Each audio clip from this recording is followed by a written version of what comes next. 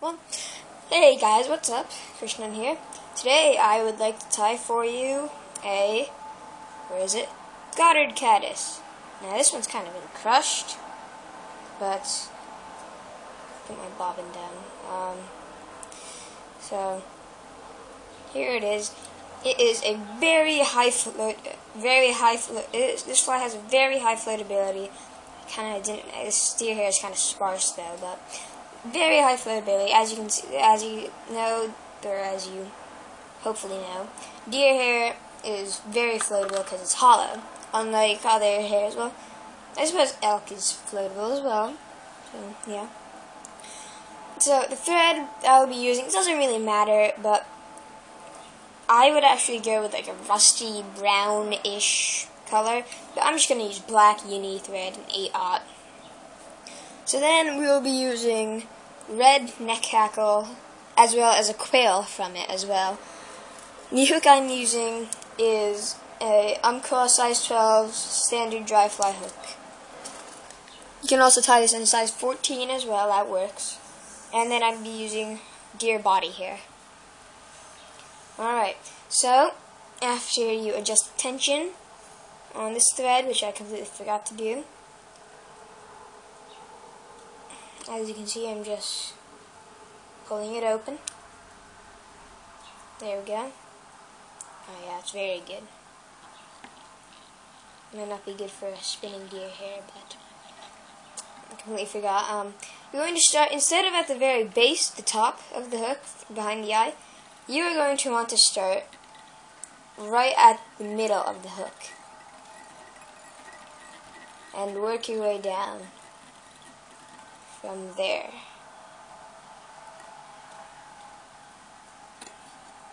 And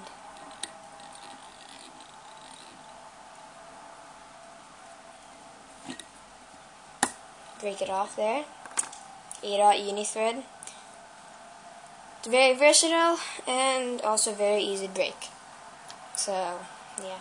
So we're going to take our deer body here. This is from Wasp, Waspy, Wapsy, Wapsy, Wapsy, Wapsy, Waspy, Wapsy, Wapsy, Waspy, Wapsy, Wapsy. and we're going to take a clump about, eh, we'll say about half a pencil's thickness. It's not half a pencil's thickness. You're half to three quarters of a pencil's thickness, depending on what size hook you're using.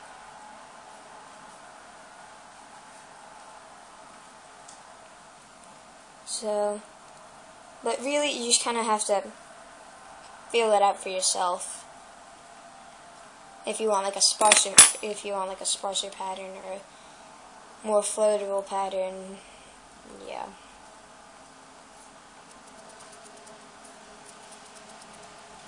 Now you're just going to pick out the deer, all the fuzzies and shorts.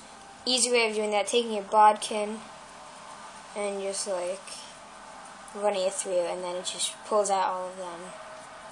There's fuzzies, shorties, all that stuff. Now I want to do, just to make things a bit easier, I'm going to stack it. But I'm not going to stack the tips. I'm going to stack the ends. The cut ends. I just put that in the stacker. Yeah, I'm not sure if you can see that. There it is. Just kind of bang on your table, desk, or something, whatever, a few times. Then once you just camera back. Oh yeah, the teacher says, my teacher says Canada if you haven't noticed. Hmm, I went to Canada a long time ago. Huh. Stop talking about Canada. Alright, so, now, now we are going to form a clump, take that little, pick that out of deer hair so that it reaches, so that the tips, I gotta stack this again.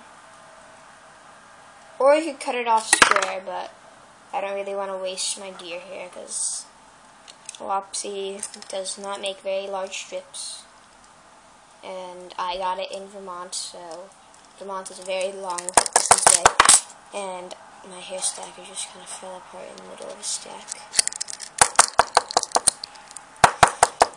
Hmm, it's raining outside. It's weird. I also, I'm very sorry that, um, I remember last video I said that I would put out a new video on Monday, but I did not. I am a failure. I am so sorry. I'm, I'm, I'm not a failure. I'm amazing. I'm just kidding. I should probably. We'll go back to the fly. Okay, so have that very nicely stacked. So here we're going to be doing is putting the clump until it reaches just right at the eye, just right at the eye. Then we'll make two loose collecting wraps, and then we're going to tighten down so that it's flared around the hook. We're still holding back of the deer. Make a few more wraps. Very nice tight wraps. Okay. There we go. Now. Ow. Don't do that ever. Now, I don't have any packing material things to pack it with, or like I don't have a, a half hitch tool. I just do a manual half hitch, like. Ow. Here, manual half hitch. I just do that for half hitch, so I don't have any half-hitch tools, so I don't. But for packing, ow, you have you should probably get like even a straw or something. I've heard some people use like crazy straws from like you know how the kids, the little kids like those straws that are like clear, they're like green, clear greenish or something, and then they're like all curly and stuff. So that's what people use to pack it down. All right. So now what we're going to do, I'm not sure if you can, uh, here, I want you to notice if you can see it, but, deer, is blocking. You can see, uh, you can't really see, never mind. But if you could see, you will notice that you can see where the thread is, where we started out on our thread base. So now what we're going to do is take that clump of deer hair and we are going to cut it off. So that's we'll say a little bit more than the shank of the like the shank of the hook shank shank shank shank. All right, so bring your thread thread forward and make sure you actually can hold on to all those. So then we're going next. This clump we're going to spin actually. So two loose collecting wraps. Once you have those. Then let go and then tighten down and spin and then make turns with it and as you can see the deer hair was spun around the hook shank. And then if it didn't, you can just kind of while you're packing it just help it along a bit.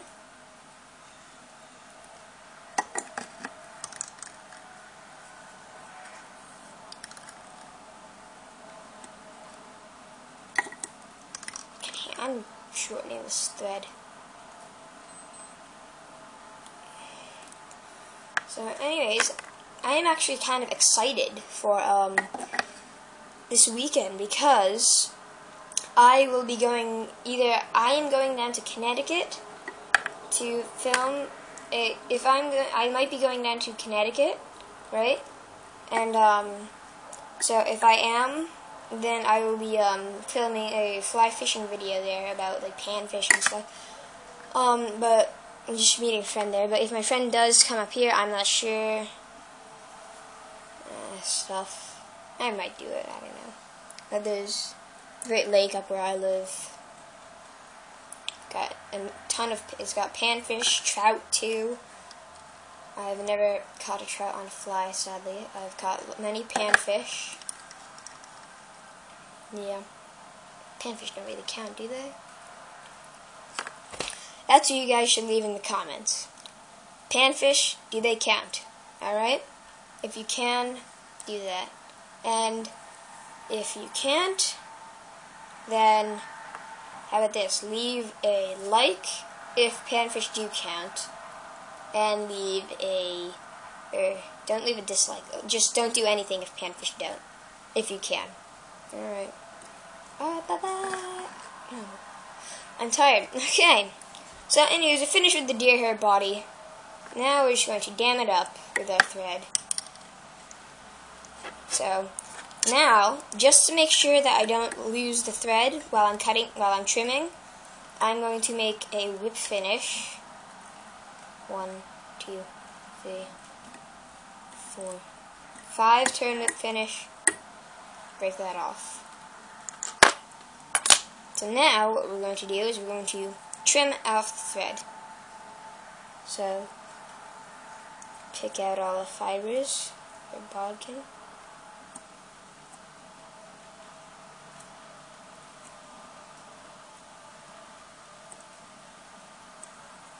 Okay, there we go. So, ooh, I have some under. Ooh, I just made a mess on the floor. I have to clean it up now. Ridiculous. That's what you guys should do. So, I sadly do not have a rotary vice. Ooh, you can feel the light. If you do that, you can feel how light this fly is. Look at, look at it. It's light. Oops. Dropped it. Don't drop your flies, kids. Or adults, or people watching this video. okay.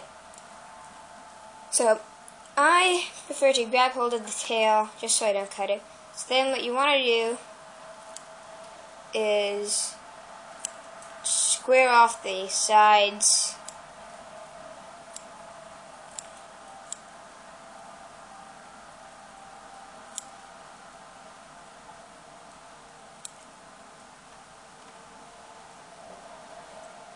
front, side, and bottom. Square it off. Then, once you have that just about squared off, you want to make a cone shape and someone's driving.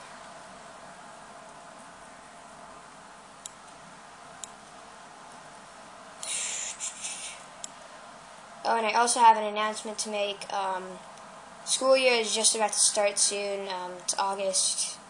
If you guys are watching this in the future. But if you're not, you're watching this in the present. Um, oops. So then I will not probably I will have a very hard time putting out videos because I would like to get my grades very nice, like normal. Yep. All right. So I'm gonna make a pretty much we're gonna make a cone shape here. So nice cone shape. And then, very end, after we put on the hackle and stuff, we'll do the final trimming. Here. So, if you have a rotary vise, you guys are lucky, if you do. Um, then you can just kind of keep the fly in the vise and just rotate the vise, but I do not. Alright, so, we are going to reattach our thread.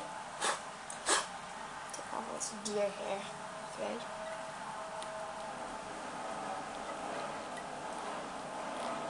Reattach our thread.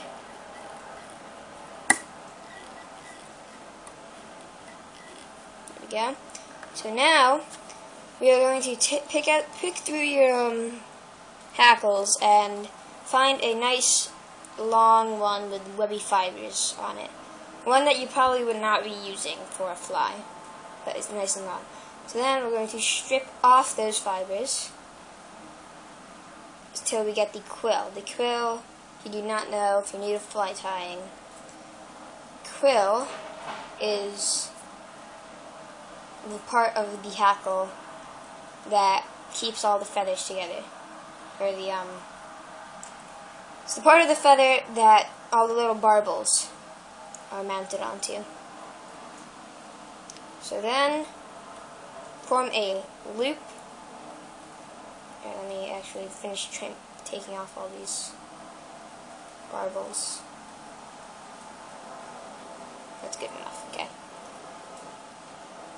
So, these are the two, and these will, after we are done with this, these will be the two antennae for antennae. Antennae?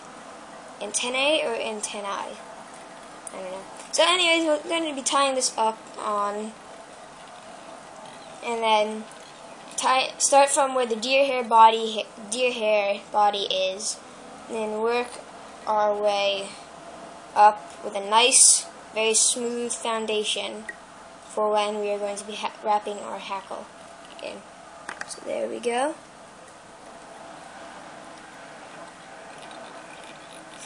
Now this just seems very. Now um, I know some people. I've seen some people tie these flies, and they're using like nylon strips, little nylon strips of um stuff, nylon, yeah, for these antennae. But I remember seeing a caddis on the water a few weeks ago, and it looked exactly like this fly. It was like unbelievable. And I then I like taking a closer look at it, know, before it flew off. I realized that with the quill, it looks much more natural because it has like the little bars. You can't see it here because my camera's horrible. You know, I'm going to turn the light on. There we go. It's a little more illuminated. Sorry, um, but you can kind of see how like there's little bars of red and white and stuff. Alright, so now, find your hackle. Found it. Now pick through the hackle, find a nice long feather. Ah, this is perfect right here. It's almost a badger hackle. Look at that. Can't really see here, but it almost looks badger. Like, there's three different types of hackle colors. There's um Badger, Grizzly, and Solid. So Solid is just a solid color as yeah, and Bad and Grizzly um, is alternating black bars from here, so like black, white, black, white, black, white, black, white, or it could be any other color. But then Badger, if it's black and white at least, Badger, the outer parts will be white, but right near the quill, it will be black. Okay. So strip off these fibers. Alright. So, now we are going to tie the quill in at the deer hair body and work our way down in a nice smooth foundation. And then take that little tag off, snip it close. There we go. Now work our way back. Now what we're going to do, take off some of the feathers from the top double it over the tip hackle and then tie it in this way.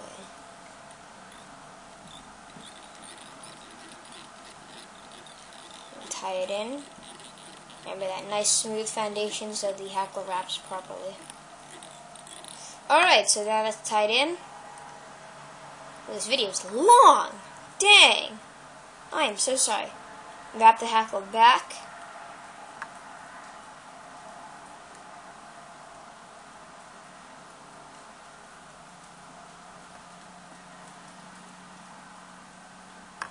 until you reach the deer hair body.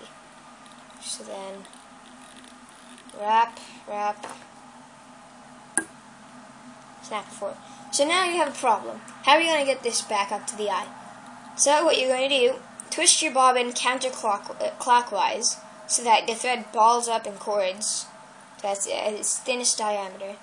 Now you're going to make wraps through the hackles as tightly as possible so you don't trap any fibers. So once you get there,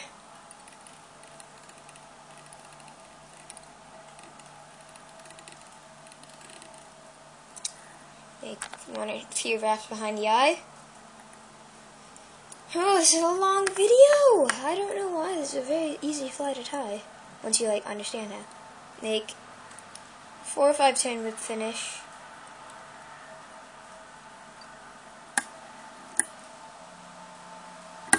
Tighten and break. I'm gonna redo this video maybe. Well, if you're seeing this video, you will know that I did not redo this video, which I am tired and I don't want to, so. You know what? I'll remake it into a nice quick video. Alright, so now we're going to be doing the final trimming of the deer hair. So make a angular cut down the back of the deer hair. And then where the end, make a reverse angle cut up. And then once you have that, snip the quill in half so you get two antennae. And there you have it. Goddard caddis. Looks exactly like a caddis. You can skitter along the water because it's high floatability and it's just amazing. It's hard to tie at first. So take your time. Yeah. I am so sorry if this video is long, and thank you so much for watching the entire video if you are seeing this. okay. Alright, bye-bye now.